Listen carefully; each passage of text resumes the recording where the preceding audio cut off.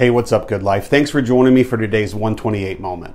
In case you missed it last Sunday, I want to share some exciting news with you. As you know, we've been meeting right here at the State Road 70 location since March of last year.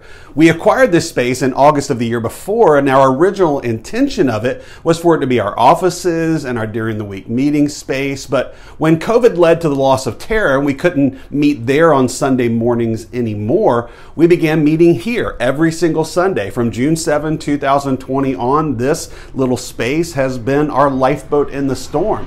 It's really so amazing to look back and realize that long before we ever knew what would happen in the world, the Lord had led us to secure the very place that we would need for such a time as this. Now, this space wasn't perfect, but it worked, and we were able to work around the limitations that it had. And in January of this year, uh, we were able to address one of those needs when we added the unit next door so Good Life Kids could begin fully operating again. And all year since that time, we've been pursuing the renovation and the reworking of our facilities to meet our current and future needs so our church could have the space that it needs to not only work now, but work in the future. But that process of pursuing that has been longer and slower than we ever could have imagined. Florida's booming economy and especially the construction industry made securing architects and engineers and, and quotes from contractors and subcontractors.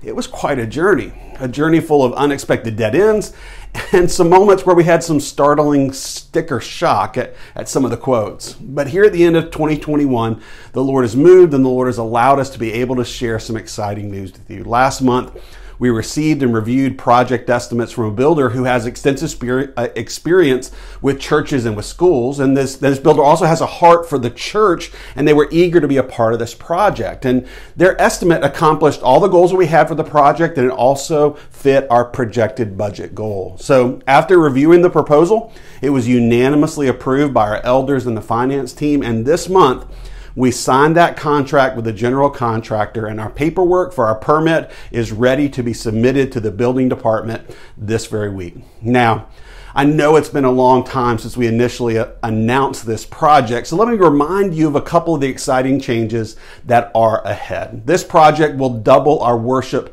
seating capacity, making room for our current church and our future church family. It'll also create four new rooms that'll be used for Good Life Kids on Sunday mornings and it'll be used as offices and meeting rooms during the week. Doing our best to make the most of the space the Lord has given us. This project will also connect our existing lobby that I'm standing in now to the front of the Good Life Kids space by tearing down this wall behind me to create a new lobby, a new connection space where we'll be able to share life on Sunday mornings. We'll also be able to create additional restrooms behind the stage with, new, with a new women's restroom on one side, an additional accessible restroom on the other. And if you add in things like new air conditioners and an extended stage for our worship team, you can see why we're excited to see this project completed. Now, how long is this going to take? Now, by our best estimates, the timeline for completion will be about two to three months. It could take a little longer, as these are still somewhat crazy times, but that's our best estimate for now. We'll update you as we get more specific information regarding when we're going to start getting dusty. But know this as we go forward, our goal and our plan is to be able to continue to meet here every single Sunday as the project progresses. So, in light of this exciting news, we invite you to be a part of it. We invite you to be a part of it by praying for the process, for the Lord to protect those who will work here, and for the Lord to bless and direct those officials who will review our project and move it through with the approval process. And really, above all, for our church to project the love of Jesus by the way we navigate this process. We also invite you to consider end of the year giving to the building fund. The building fund option has been added to our, our online giving portal. So you can also, if you're not going to use that, you can make note on a memo line of the check you give in your normal offerings. We'll also circle back in January to share more about the project and all the ways that you can be involved. So we're excited. We hope you are too. Let me share a couple of reminders before I go. Don't forget to return your Christmas gifts for our ministry partners this Sunday. Return them unwrapped